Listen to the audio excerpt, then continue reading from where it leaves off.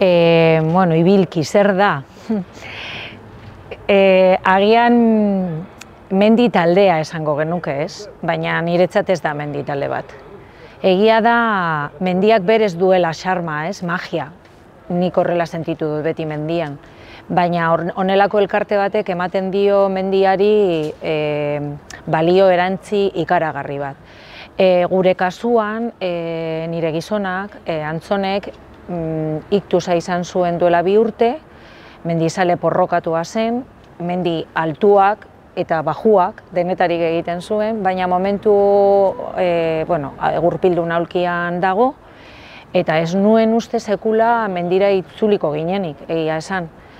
Eta kasualidade batez, e, aurkitu nuen e, interneten ibilki elkartea getxon, gu ara aldatu ginen bizitzen etxe bizitza arazoen gatik, beraz berria ginen getzon, ez genuen inor ezagutzen, eta, eta idatzi nion, emailera, eta erantzun egin zidan, eta kafe bat hartzeko gelditu ginen, eta nik esaten nionean, baina e, joan, joan gaitezke mendira, eta bai, eta erantzuten zidan gauza natural bat desala, bai, abai, ah, Eta bai, argazkiak erakutsi zizkiren eta nik esaten hori ez da posible.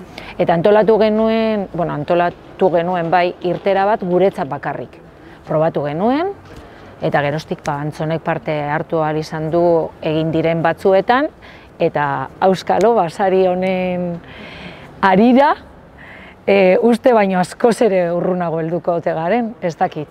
Orduan, mendi talde bat bai, baina mendi talde bat zabala, ez bakarrik nolabaiteko e, desgaitasuna duten pertsonei begira, ez? Baizik eta et, e, e, mm, leku desberdinetako pertsonak, askotan etzerik ez duten pertsonek ere parte hartzen dute e, irteretan, e, saiatzen da beti elkartea alden eta dirurik gutxien eskatzen e, hori egin alizateko.